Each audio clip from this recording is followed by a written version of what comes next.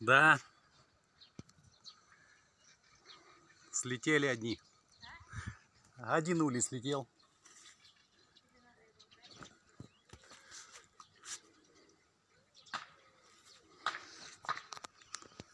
И снова всем привет, пчеловоды!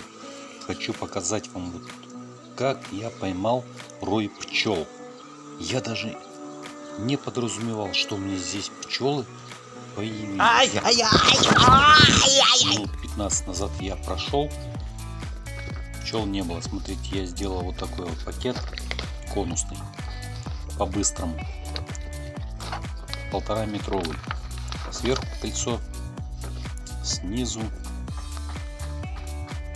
примерно диаметр 80. Взял вот так два бутыля, распилил по-бырому, соединил, повешал на лесенку, чтобы куда было стряхать пчел.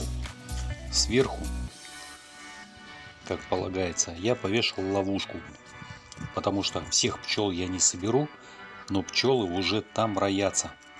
Ну как роятся, то есть они там что-то там мутят по-своему. Конечно, если вы знаете, напишите в комментариях. Вот, смотрите, я их натрес. Их немного, ну килограмма полтора, наверное. Я думаю так, что это немножко. Пчел собрал, укусила одна в кость, в ладошку. Блин, скажу вам, это больно. Это очень больно. Вот у меня ловушечка. Вот смотрите, как они переползают. Вот по стволу сползают. Я их намочил.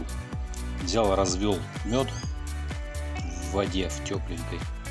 И, короче, опрыскал их всех. Они летать не могут. Которые летали, они летают. Они кружат, прям, блин, дико кружат. Смотрите, вот они сползают. Я им подставил веточки. А они своими путями, то есть сползают вниз, потом поднимаются по веточке. Некоторые взлетают, подлетают, но они переползают. То есть вот грамм 200 пчел все-таки поползухой, переползухой передвигаются куда им надо. Вот такая красота. Смотрите, вот что будет дальше. Вы будете в шоке. Потому что я делаю все по-своему. Смотрите. Я вот взял. У меня был японский улей такой вот сделанный. Полтора года стоит. Я вот все мечтаю его заселить. Ну вот он, наконец, мечта сбылась. Я его стянул стяжками. Видите, железячки по краям. Чтобы он у меня не расползался. Потому что он открывался. Вот эта крышка. Без комментариев. Смотрите дальше. Все это я дело спрыснул. Также медовой водичкой. Весь улей тоже спрыснул медовой водичкой. Но есть небольшое но.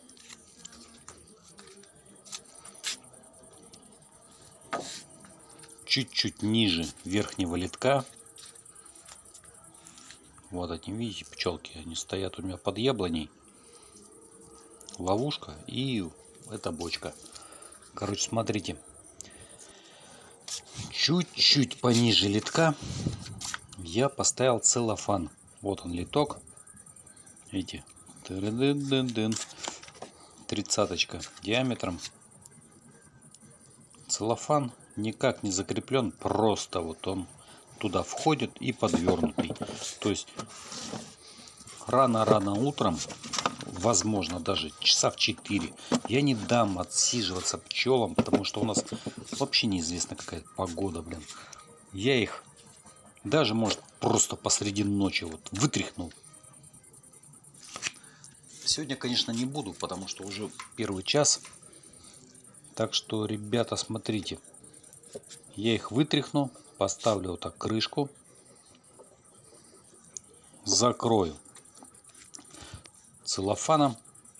И все.